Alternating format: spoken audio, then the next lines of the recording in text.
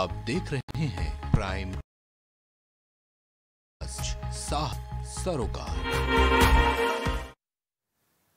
नमस्कार, मैं हूँ मुस्कान असमानी और आप देख रहे हैं देश का लोकप्रिय और विश्वसनीय चैनल प्राइम टीवी खबर लखनऊ से है, जहाँ शीरोज हैंगआउट कैफ़े में देश की जाने मानी कवियत्री एवं अभिनेत्री श्रुति भट्टाचार्य की दूसरी किताब अंदाज मेरा के उर्दू संस्करण का विमोचन किया गया, जिसमें गज़ल और साहित्य जगत के तमाम बड़ी हस्तियों ने भी हिस्सा लिया। इस दौरान आए हुए सभी महानुभावों ने इस रचना की जमकर तारीफ़ भी की है। इस कार्यक्रम में मुख्य अतिथि के तौर पर डीआईजी अखिलेश निगम समेत कई अति विशिष्ट सम्मिलित हुए साथ ही कार्यक्रम के सफल आयोजन के बाद श्रुति भट्टाचार्य ने सभी अतिथियों का सम्मान करते हुए कहा कि इस कार्यक्रम में केवल एक रचना का ही नहीं, बल्कि एक एहसास का विमोचन किया गया है।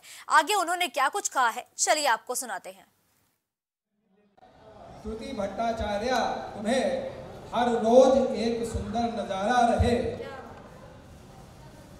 अरमान पूरे हों ज़िंदगी के सभी। सदा ऊँचा खुशी का सितारा रहे। हो शख्सियत में इजाफा। हो शख्सियत में इजाफा। कामरानी मिले। कामरानी कहते हैं विजय और सफलता को।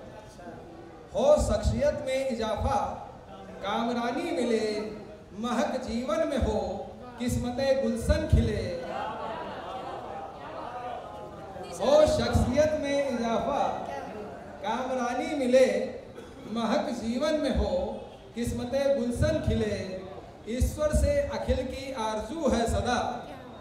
बल्कि इनकी पहली पुस्तक आई थी ख्वाहिशे नाम से। तो ईश्वर से अखिल की ख्वाहिश है यही कि जिंदगानी का गौहर चमकता रहे मैं नारी हूँ कभी बाल हट करती मचल जाती हूँ। कभी बाल हट करती मचल जाती हूँ कभी सौंदर्य का रूप पाकर समर जाती हूँ। कभी बाल हट करती मचल जाती हूँ, कभी सौंदर्य का रूप पाकर निखर जाती हूँ, कभी प्रीत का रंग पाकर समर जाती हूँ, कभी प्रीत का रंग पाकर समर जाती हूँ, कभी कड़वे बोलों को अपने अंदर ही छिपाती हूँ, मैं नारी हूँ, मैं नारी हूँ, हर रूप में ढल जाती हूँ।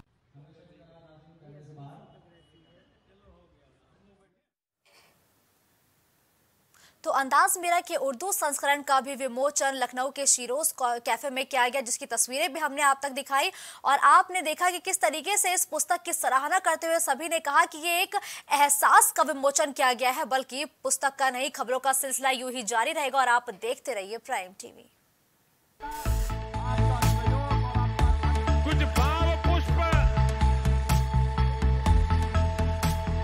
आप देख रहे हैं प्राइम टीवी।